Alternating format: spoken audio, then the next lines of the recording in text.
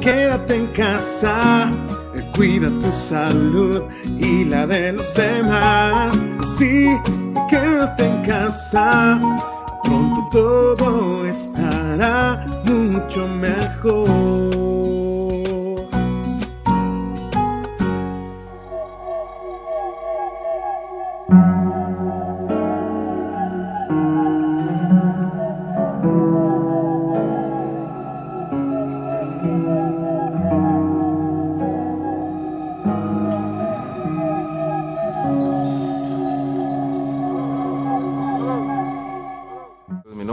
Héctor Porras. Tengo 10 años en este museo. Hace 90 millones de años, este, este territorio, o sea, el piso que estamos aquí nosotros ahorita, donde estamos pisando, era, era, era un mar que partía todo Norteamérica. Entraba por el Golfo de México, partía todo Norteamérica, salía hasta, hasta el Polo Ártico.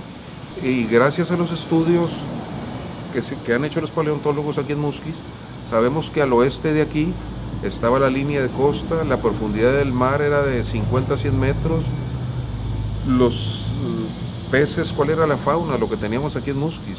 Son cosas muy importantes. Este mes pasado se acaba de publicar en una, en una revista especializada ¿verdad? De, de paleontología, donde dan a conocer a Musquis como una localidad Lagerstätten. Esta, esta palabra Lagerstätten es un- una palabra en alemán que se les designa a unas cuantas localidades que, que existen en todo el mundo. Para la edad que tiene Musquis existen un poco más de una docena. Esto es gracias a la cantidad de fósiles y la calidad de preservación que tienen los fósiles también. Se han identificado 22 especies diferentes de peces, 9 crustáceos diferentes. Ahí van los cangrejos, langostas, camarones y otros tiburones van tres especies diferentes, 13. Han salido reptiles marinos, reptiles voladores, amonites, tortugas. Las tortugas van en los reptiles. Han salido muchas piezas y muy importantes. Algunas de ellas tienen, no nada más es el puro esqueleto, tienen partes blandas. Es muy raro que se llegue a fosilizar de esa manera. Tienen que pasar eh, fenómenos muy especiales para que se pueda dar a conocer eso. Y luego si retrocedemos otro tiempo o adelantamos otro tiempo a los 70 millones de años, que era cuando aquí, aquí estaba lleno de bosques, que fue lo que originó el carbón, había, teníamos dinosaurios, picos de pato, teníamos dinosaurios carnívoros, teníamos dinosaurios mm, con cuernos en la cara, hemos encontrado huellas de, los dinosaurios, hemos encontrado maderas, hojas, eh, lagartos, hay mucha, mucha, mucha fauna que, se ha encontrado aquí en Musquis. Un reptil volador, eh, ese fue, en realidad ese fue el que detonó aquí en Musquis, ¿verdad? Ese se lo encontraron, en, eh, se lo encontraron aficionados a la paleontología de Sabinas, ¿verdad? De Sabinas, Coahuila. Dieron parte al Museo del Desierto. El Museo del Desierto lo estudió, ¿verdad? Lo estudiaron ahí en, en- en convenio con, con paleontólogos de Europa, ¿verdad? Alemanes. Se estudió y se dio a conocer y es el, reptil volador más completo que se ha encontrado en México. Y resultó ser una especie nueva género y especie nueva, o sea, se le tuvo que poner nombre y apellido. Entonces es el Musquisopteris coahuilensis. Cuando estaban los paleontólogos aficionados de Sabinas, ¿verdad? Ellos se reunían los fines de semana, se reunían el papá, los hijos, la mamá, y salíamos a campo todos, ¿verdad? Desde niños de 4 o 5 años hasta de 70 años o más. Nosotros creemos que es en las películas nada más donde hay dinosaurios. O sea, aquí había, aquí hay muchas huellas, aquí están los rastros de los dinosaurios, aquí encontramos huesos. También se han encontrado eh, aves.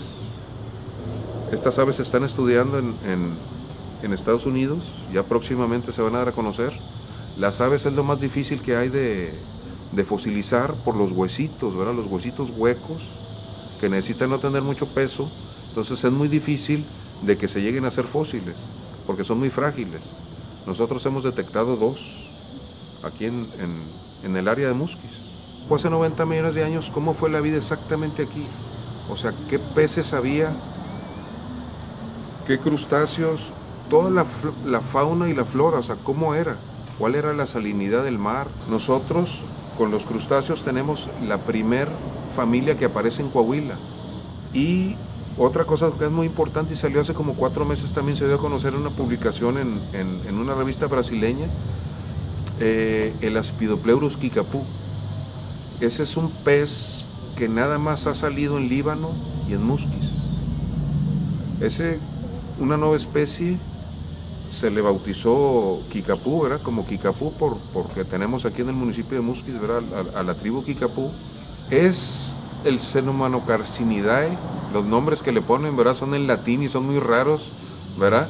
Sirven para, para ubicarlos, para saber el nombre en todo el mundo.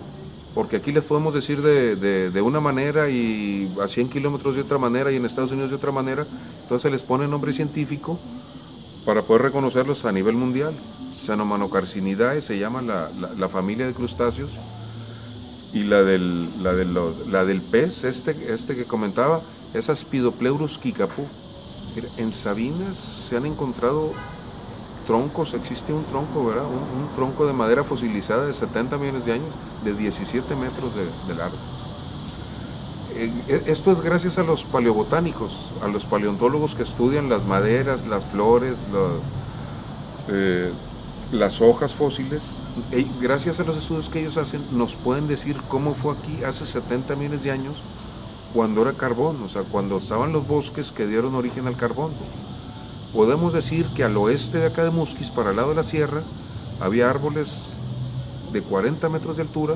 Entonces, en esta parte de aquí había muchos pantanos, ríos. Tenemos 25 sitios entre Sabinas, Palau y Musquis, donde hemos recolectado aquí eh, restos de dinosaurios. No es nada más el estudio del fósil, la, paleontología, es el estudio de la vida de la Tierra. Nos dice cómo, cómo, cómo vivían, qué animales vivían en ese tiempo. Gracias a ellos podemos, por ejemplo, saber que la temperatura era un promedio de 21 a 24 grados centígrados. Llovía 4 metros lineales, que había desde hojas parecidas a los aguacates, a mangos, a las palmeras de los cocos, otros muchos diferentes, lotos. En ninguna parte del planeta no existe una selva, ¿verdad? Como, como la que existió en ese tiempo aquí en Muscos.